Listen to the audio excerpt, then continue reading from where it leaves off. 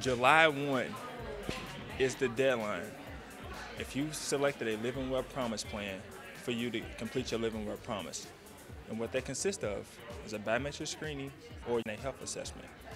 You, the biometric screening, I would say, um, you know, will take right now a little bit longer to, to kind of get in the system since it's kind of uh, last minute. So I would encourage everyone to go, go online and do and complete your health assessment. It takes 10 to 15 minutes.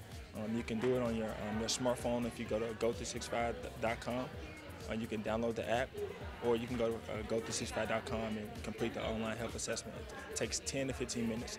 Do not wait.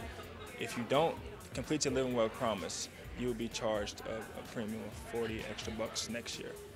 So please complete your Living Well promise.